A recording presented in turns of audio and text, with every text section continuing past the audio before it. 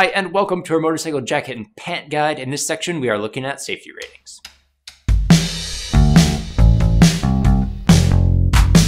So in Canada, there are no standards for motorcycle protective equipment to be sold as such. So I could make you a motorcycle jacket, sell it to you as protective equipment. There's no standards that really govern that.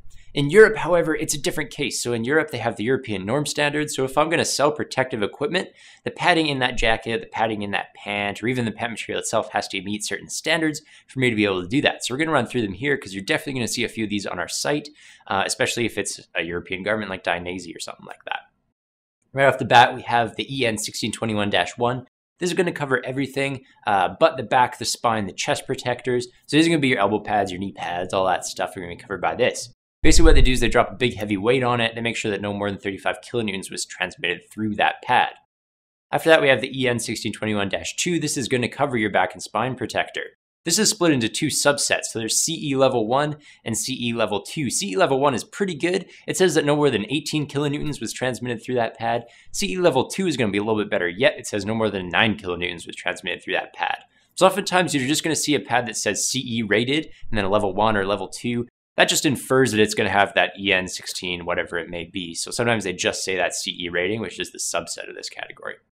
After that, we have the EN1621-3. This is going to cover your chest protector. Um, this is really the same as above. It's split into those two subsets. You have CE level 1, uh, which is pretty good, and you have CE level 2, which is a little bit better yet. After that, we have EN13595. This is going to cover uh, the jacket or the pant material itself. So the leather, the seams, uh, the textile uh, material, whatever that may be, the fabric. That's what this standard checks out. It makes sure it has good abrasion resistance, make sure it has good cutting resistance, make sure the seams too are really, really strong. They're not going to tear apart on you in a big long slide or something like that.